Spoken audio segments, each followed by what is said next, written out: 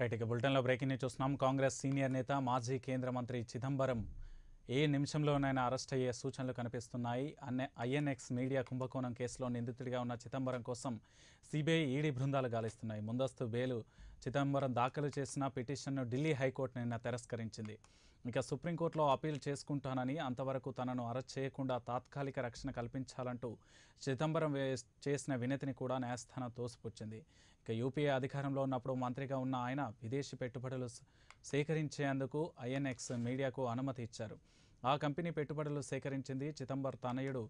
కార్తీ కంపెనీల నుంచే ఈ కంపెనీల మధ్య మూడు వందల ఐదు కోట్ల చేతులు మారినట్లు కేసు నమోదైంది. ఏ క్షణమైనా ఆయన్ను అరెస్ట్ చేయడానికి సిబిఐ సిద్ధంగా ఉంది.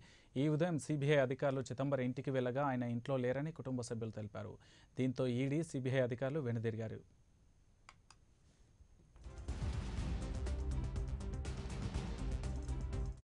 అంశానికి సంబంధించి మరింత సమాచారం ఢిల్లీ నుంచి మా ప్రతినిధి రామకృష్ణ అందిస్తారు. రామకృష్ణ.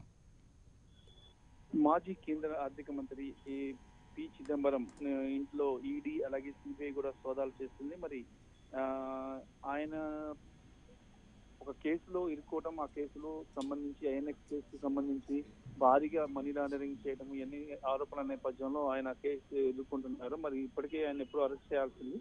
అయినప్పటికీ కూడా ఆధారాలు ఉన్నప్పటికీ కూడా కొన్ని కోర్టు అడ్డుపెట్టుకుని చిదంబరం తప్పించుకోవడం జరుగుతుంది. మరి గత రాత్రి చిదంబరం నివాసం జోర్బాగ్లోని చిదంబరం నివాసానికి సిబిఐ అలాగే ఈడీ అధికారులు ఆయన నివాసానికి వెళ్ళి సోదాలు చేశారు. ఆయన నివాసంలో రాత్రి నుంచి కూడా సిబిఐ ఈడీ అధికారులు అక్కడే చర్చ వేశారు. అయినప్పటికీ చిదంబరం ఇంట్లో లేరు.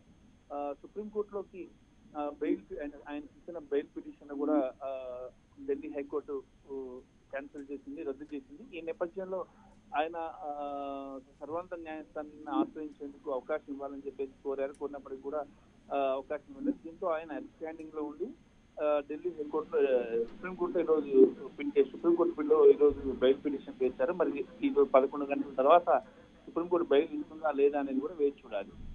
రామకృష్ణ మనం ముఖ్యంగా చూడొచ్చు ఐఎన్ఎక్స్ కేసులో ముందస్తు బెయిలు ఢిల్లీ హైకోర్టు నిరాకరించినప్పటికీ ముఖ్యంగా కస్టడీలోకి తీసుకోవాలని ప్రశ్నించాల్సిన అవసరం ఉందని కూడా నిన్న న్యాయస్థానం తీర్పునిచ్చింది. మరి ఆగమేఘాల మీద సుప్రీంకు చిదంబరం వెళ్ళినా కూడా అక్కడ కూడా ఎలాంటి లేదు. తక్షణ విచారణకు కోర్టు నిరాకరణ. ఆచూకీ ప్రస్తుతం అయితే తను అందుబాటులో లేనట్లుగా తెలుస్తుంది. మరి సిబిఐ అధికారులు కానీ ఈడీ అధికారులు కానీ ఎలాంటి వ్యూహంతో ముందుకెళ్ళబోతున్నారు చిదంబరం కేసులో? అంటే ఆయన అందుబాటులో లేకపోయినప్పటికీ కూడా ఉన్న ప్రస్తుత పరిస్థితులు చూసుకొని ఆయనకి మాక్సిమం ఇప్పటి నుంచి బయలు తెచ్చిన అవకాశాలు ఎక్కువగా ఉన్నాయని చెప్పేసి తెలుస్తుంది. సుప్రీంకోర్టు